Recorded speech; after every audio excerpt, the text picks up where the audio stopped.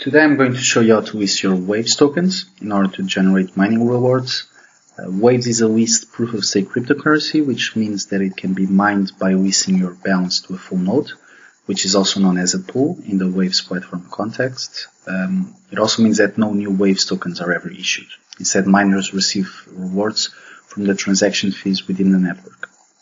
So when leasing your Waves tokens, the balance never actually leaves your wallet, so your funds are safe um, the balance is instead used by the full node to increase its revenues. So the more balance is leased to a certain node, the more uh, transaction fees that node will gather. Leasing your balance is ideal if you don't want to run a full node, which will require you to leave the wallet running at all times.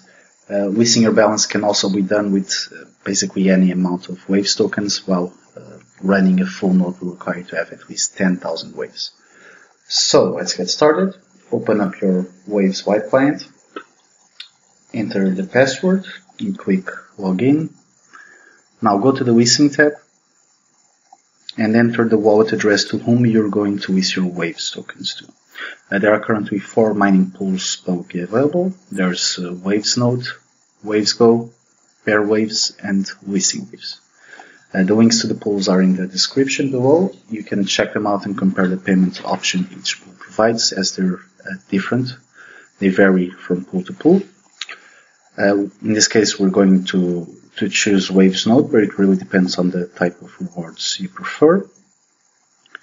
Now enter the amount of waves you want to lease and the fee you want to pay for the transaction. We're going to leave this field as it is.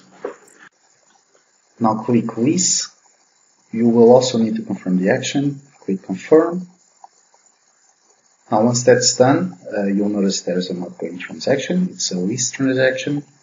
Uh, once the transaction has been confirmed, you can also cancel the, the lease by clicking the options icon and choosing cancel lease. And that's it. Hope the video was helpful. If so, please click like and subscribe to the channel. Thank you.